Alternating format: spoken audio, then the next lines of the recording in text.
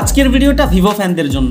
এটা Vivo recently launch হওয়া একটি smartphone Vivo Y seventeen S এই স্মার্টফোনটির প্রাইস দিয়েছে পনেরো হাজার নয়শো নিরানব্বই টাকা এবং এটাতে ফিফটি মেগাপিক্সেল ক্যামেরার সাথে থাকছে MediaTek Helio G eighty five chipset IP fifty four water and dust resistant and six GB RAM one twenty eight GB ROM এই স্মার্টফোনটি নিয়ে কোনো প্রকার কম্পারিজনে যাব না, যার জন্য শুরুতেই বলেছি আজকের ভিডিওটি ভিভো ফ্যানদের জন্য। ভিভোর এই স্মার্টফোনটির রিভিউ দেওয়ার রিজনটা হচ্ছে, এতদিন ভিভো পনেরো ষোলো হাজার টাকায় দিত চার জিবি র্যাম চৌষট্টি জিবি রম এবং ক্যামেরা ফিক্স ছিল তেরো মেগাপিক্সেল আর চিপসেট ছিল এন্ট্রি লেভেলের যেটা দিয়ে রেগুলার কাজ বাজ তো ঠিক আছে, কিন্তু জেনারেশন অনুযায়ী বাজেট যেমনই হোক, একটা বেসিক যে এক্সপিরিয়েন্সটা আছে, ওটাও খুব একটা ভালো পাওয়া যেত না। তাই ফাইনালি ভিভো নিয়ে এসেছে ষোলো হাজার টাকায় MediaTek Helio G eighty five এর চিপসেট বাট এটাও আগের চিপসেট যাই হোক, যেহেতু কিছু পরিবর্তন এসেছে, ষোলো হাজার টাকার এই ভিভোর স্মার্টফোনটিতে তো চলুন এই স্মার্টফোনটি সম্পর্কে বিস্তারিত জেনে নেওয়া যাক। আসসালামু আলাইকুম, আপনাদের সাথে আছে আমি রিশাদ। আপনারা দেখছেন Rishad the take.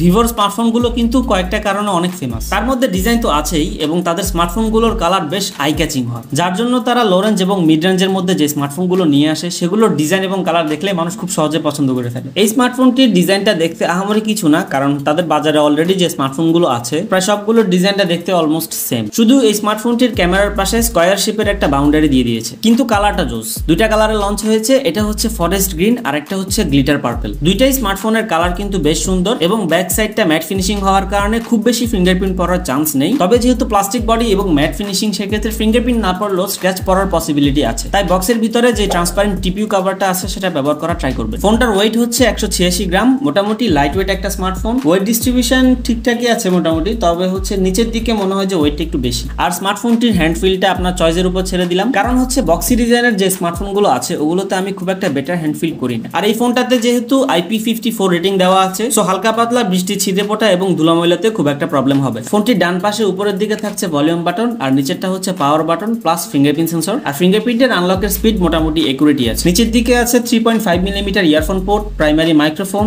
USB type C port এবং সিঙ্গেল স্পিকার গিল বাম পাশটা একেবারে ফাঁকা আর উপরের দিকে আছে ডেডিকেটেড সিম কার্ড স্লট যেটাতে দুটি সিমের পাশাপাশি একটি মেমোরি কার্ড ব্যবহার করতে পারবে। তবে নাই নয়েজ ক্যান্সেলেশন মাইকটা যেটা দেওয়া অবশ্যই উচিত ছিল। আর ফোনটা চিপসেট হচ্ছে MediaTek Helio G eighty five যেটা নিয়ে আসলে বলার মতো খুব একটা কিছু নেই। কারণ বিগত আরও দুই তিন বছর আগে থেকে কিন্তু এই চিপসেটটা অলরেডি কিছু ব্র্যান্ডে এর থেকেও কম বাজেটের স্মার্টফোনে দিচ্ছে তো যাদের আসলে চিপসেট ম্যান্ডেটরি তারা কিন্তু এই বাজেটে অন্য ব্র্যান্ডের স্মার্টফোনে MediaTek Helio G ninety nine এর চিপসেট পেয়ে যাবে। আর এই চিপসেটটার পারফরমেন্স যে খারাপ তা না, এটার পারফরমেন্সও যথেষ্ট ভালো। ফ্রি ফায়ার এই চিপসেটটা দিয়ে বেশ ভালো মতোই খেলতে পারবেন। তবে পাবজি খেলা ট্রাই করেন না, ভালো মতো খেলতে পারবেন যারা ভিভোর Y sixteen Y twenty Y twenty one এই স্মার্টফোনগুলো ব্যবহার করেছে, তাদের কাছে এই স্মার্টফোনটির পারফরমেন্স একটু বেশি ভালো লাগতে পারে। সফটওয়্যারে থাকছে অ্যান্ড্রয়েড থার্টিন এবং ভিভোর নিজস্ব operating system Funtouch OS thirteen ফোনটা দিয়ে কিন্তু এমনিতে রেগুলার কাজ বাজ সোশ্যাল মিডিয়া মাল্টিটাস্কিং এগুলো মোটামুটি ভালো মতোই করতে পারবেন। আর আমি যতটুকু জানি যে ভিভোর সফটওয়্যার অপটিমাইজেশন মোটামুটি ভালোই। তবে ইউআই তে কিছু ব্লুটওয়্যার আছে, যেগুলো অবশ্যই আনইনস্টল করা যায়। তো ইউআই যেহেতু ভালো করেছেন, এগুলো রিমুভ করে দেন আর একটু অপটিমাইজ করেন। যারা ভিভোর ফ্যান এবং ভিভো ইউজার তারা বেশ ভালো মতোই জানে যে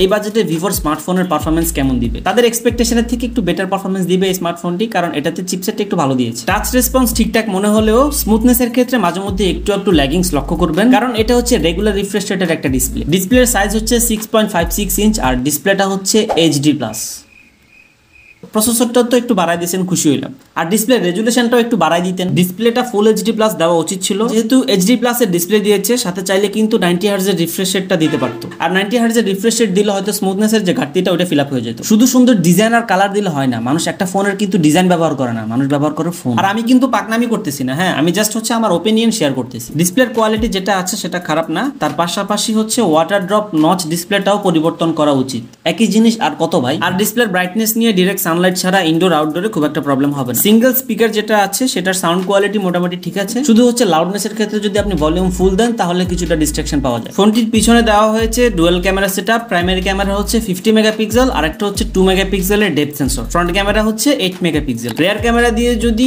দিনের বেলা বা প্রপার লাইটিং এ ছবি তুলেন, তাহলে আশা করি ছবি আপনার ভালো লাগতে পারে। ভিভোর ফোন ডিজাইনের পাশাপাশি ক্যামেরার জন্য কিন্তু অনেক ফেমাস কারণ এখন ন্যাচারাল ফটো বেশিরভাগ মানুষ খুব একটা পছন্দ করে না। বেশিরভাগ মানুষই কিন্তু একটু সফট কালার টোন এবং একটু আর্টিফিশিয়াল ফটো বেশি পছন্দ করে। আর যদি শ্যাডো এরিয়াতে বা লো লাইটিং এ ছবি তুলেন, তাহলে ডিটেলস এর ঘাটতি লক্ষ্য করবেন। রিয়ার ক্যামেরা দিয়ে ভিডিও শুট করতে পারবেন সর্বোচ্চ ten eighty p thirty FPS রেজলিউশনে video stable পাবেন না, এটাই স্বাভাবিক। তবে সফটওয়্যারের মাধ্যমে ক্যামেরাতে একটা স্টেবিলাইজেশনের অপশন দেওয়া হয়েছে। এন্ড এটা অন করেও ভিডিও শুট করার পর ভিডিওতে খুব একটা ডিফারেন্ট আমার কাছে মনে হয়নি। ফ্রন্ট ক্যামেরার সেলফিগুলো অ্যাভারেজ কোয়ালিটি মানে ভালো লাইটিং পেলে মোটামুটি কাজে লাগানোর মতো সেলফি তুলতে পারবেন। আর সেলফিগুলো কিন্তু সেম একটু আর্টিফিশিয়াল টাইপের চাইলে কিন্তু আবার নিজের মতো করে বিভিন্ন ফিল্টারের বা অনেক ধরনের ফিচার থাকে ওদের ক্যামেরাতে এগুলো নিজের মতো করে আপনি কাস্টমাইজ করে নিতে পারবেন। ব্যাটারি ব্যাকআপের জন্য দেওয়া হয়েছে ফাইভ থাউজেন্ড এর ব্যাটারি এবং এইটিন ওয়ার্ডের চার্জার ফাইভ থাউজেন্ড এমএইচ এর ব্যাটারি ব্যাকআপ কেমন দেয়? এটা মোটামুটি সবাই জানে। সো স্মার্টফোনটির ব্যাটারি ব্যাকআপ নিয়ে কোনো প্রবলেম হবে না, আশা করি। ব্যাটারি ব্যাকআপ ভালোই পাবেন, তবে ব্যাটারি চার্জ হতে অনেক সময় লাগে। সো এখন এই স্মার্টফোনটিকে আপনি নেবেন নাকি নেবেন না, এটা পুরোটাই ডিপেন্ড করবে আপনার পছন্দের উপর আর আপনার পকেটের উপর। আর এমনিতে day to day using social media multitasking টুকটাক গেমিং ক্যামেরাটা কিন্তু খারাপ না, একটু আর্টিফিশিয়াল যদি এরকমটা আপনার পছন্দ হয়ে থাকে, তাহলে আপনি স্মার্টফোনটি নিতে পারেন। স্মার্টফোনটির বর্তমান অফিসিয়াল প্রাইস হচ্ছে পনেরো হাজার নয়শো নিরানব্বই টাকা মানে ষোলো হাজার টাকা। সো যদি আপনি কিছু কমে নিতে চান স্মার্টফোনটি তাহলে চলে যান ফ্রেন্ডবার্স মোবাইলে তাদের সব থেকে যদি আপনি স্মার্টফোনটি পারচেস করেন তাহলে কিছু ডিসকাউন্ট এবং গিফটও পেয়ে যাবেন। যদি আমাদের চ্যানেলে সাবস্ক্রাইবার হয়ে থাকেন তাহলে। গিফট এমনি এমনি দিবেন আগে সাবস্ক্রাইব করেন তারপর। সো তাদের সবের অ্যাড্রেস ফোন নাম্বার সহ যাবতীয় ডিটেলস ভিডিও ডিসক্রিপশনে দেওয়া আছে। ওকে আপনাদের যদি কোনো প্রশ্ন থাকে তাহলে অবশ্যই কমেন্ট করুন। ভিডিওটি ভালো লাগলে লাইক দিয়ে ভিডিওটি শেয়ার করুন। খুব শীঘ্রই দেখা হচ্ছে আরেকটি নতুন ভিডিওতে ততদিন সবাই ভালো থাকবেন সুস্থ থাকবেন। আল্লাহ হাফেজ।